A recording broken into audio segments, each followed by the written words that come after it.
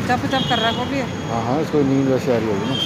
धूप में तो अच्छा भी है थोड़ी देर घूम भी रहा तो। चल तू इसको। तो हमारे कुकी का हो चुका है ऑपरेशन और मम्मी उसको प्यार कर रही हैं अभी। प्यार तो हमेशा ही करती हैं। पर इसको अभी ना एनेस्थीसिया दे रखा है तो इसीलिए आराम कर रहा है कुकी क्योंकि इसका ऑपरेशन सक्सेसफुली हो चुका है। पर अभी इसकी चाहिए केयर तो केयर करने के लिए बोल रखा है कि इसको वार्म जगह में रखना है।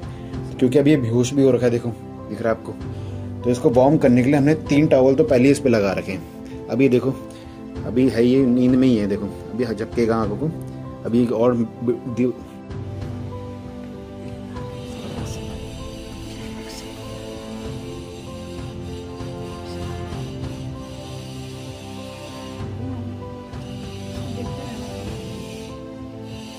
कैस्ट्रेशन और न्यूट्रिंग करने के बाद इनको ना आराम करना होता है। ज़्यादा से ज़्यादा आराम करवाओ और जितना वार्म जगह में रख सकते हो ना, रखो। तभी हमने देखो तीन, हमने पहले से देखो टॉवल रखे हुए हैं इसके लिए। एक, दो, तीन, और बाहर से हमने एक नीचे ब्लैंकेट है और, देखो दिख रहा है आपको, और उसके बाहर से एक और ब्लैंकेट ये भी है।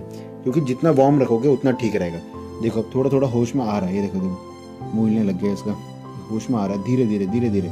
क्योंकि आपको भी मैं बता देता हूँ, देखो एनेस्थीसिया देने के बाद कैस्ट्रेशन का ऑपरेशन होने के बाद इनको ना बिल्कुल भी ठंडी जगह में नहीं रखना। जैसे आपको दिख रहा होगा यहाँ पर फर्श है तो यहाँ पर तो ये अगर गिरा या आया तो ठंडा इसको लगेगा लगेगा। इसीलिए कोई ना कोई केयर करने के लिए साथ में होना चाहिए। तभी मम्मी और मैं साथ में हैं और इसको वार्म जगह में ही रखना है इसको जिससे इसको प्रॉब्लम क्रिएट ना हो। इसका न्यूट्रिंग करवाने का मेन रीज़न ये भी है। बहुत सारे रीज़न पहले मैं एक चीज़ बता देता हूँ आपको कि यार इन, इनकी ना जो लाइफ होती है ना जानता हूँ काफ़ी जने कह रहे होंगे कि तुमने इसका ऑपरेशन क्यों कराया? उसका रीज़न क्या है? क्या ज़रूरत थी? नहीं कराना चाहिए था? क्या प्रॉब्लम क्रिएट हो रही थी तो तुमने मतलब ये ऐसा करवाया? और मतलब ये चीज़ नहीं करना चाहिए था? कुछ भी ऐसा अगर आपको लग रहा है तो मुझे कमेंट करके बताएँ। मैं ज़रूर बताऊँगा कि रीज़न क्या है कि हमने क्यों न्यूट्रिंग करवाई? क्यों कैस्टेशन करवाई? उसका रीज़न क्या था? और बोलूँ तो वो बेनिफिट रहा जो हमने करवाया